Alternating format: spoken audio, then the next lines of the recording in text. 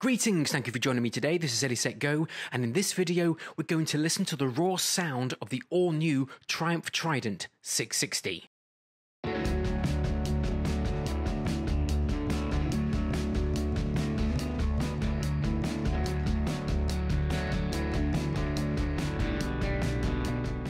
So, as we head into the release of the Trident 660 next year, Triumph keep teasing us with little nuggets of motorcycling goodness. And today, Triumph have given us a fantastic glimpse as to what this new naked middleweight will sound like.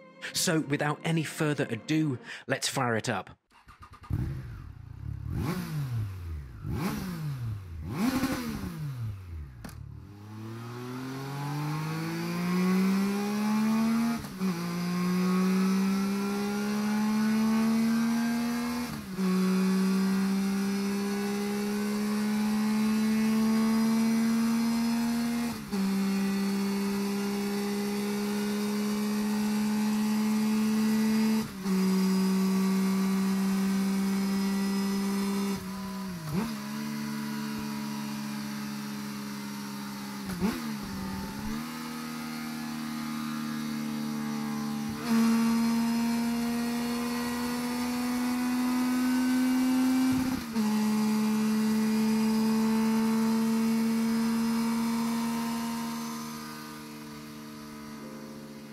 So, what did you think of the new Trident sound? Comments below.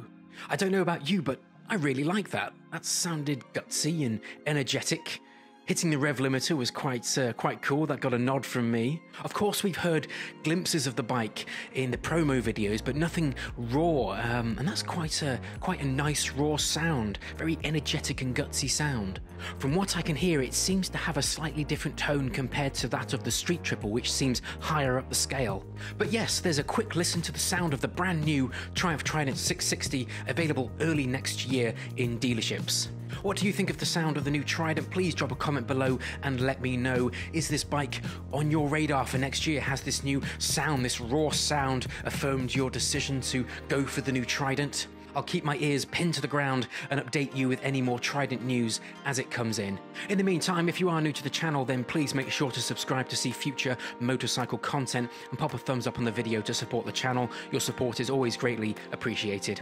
I've been Eddie Set Go. I hope you ride safe, stay safe. I'll see you next time.